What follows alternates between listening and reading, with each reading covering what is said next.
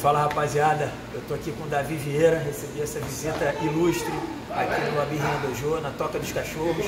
E aí depois de um amasso que ele me deu aqui, porra, o mínimo que ele podia fazer é mostrar uma técnica pra gente. Então eu espero que vocês aproveitem. Valeu galera, vamos nessa. Eu gosto, eu gosto muito de ficar nessa posição, com os ganchos, trabalhando com os ganchos. Eu gosto de ganhar a lapela. E toda vez que eu ganho a lapela, eu fico meio que lado e fico travando aqui ó, no chão.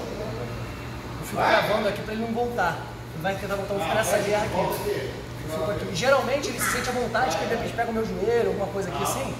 Pra mim é o que eu quero mesmo, fico travando ele aqui. Aí o que, que eu faço? Ou eu entro baixo do braço, ou eu venho aqui por cima. Tá? Por cima é até mais fácil, que ele está esgrimado, ele está se sentindo bem. Então o que, que eu faço? Eu travo aqui na faixa, travessa a mão dele, eu vou jogando, ó. Só que quando eu for jogando, eu já jogo pra cá, ó. Troquei meu pé, tá? Tava um gancho, troquei pra cá. O cara aqui, ó. Braço. Aí daqui é o seguinte, tô com o braço dele aqui, eu vou fazer um giro, ó.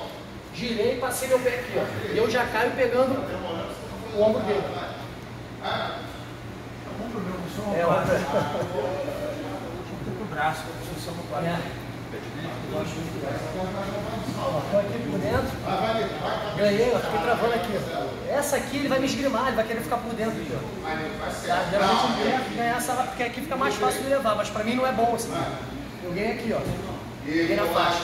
Eu venho jogando, ó. Sento, venho jogando, jogando, jogando, tiro meu pé, boto pra fora. E cai aqui, ó. Agora daqui, eu passo a minha perna pra cá, ó. Jogo aqui, ó. E já caiu virando. Vou jogar pra essa posição aqui, ó.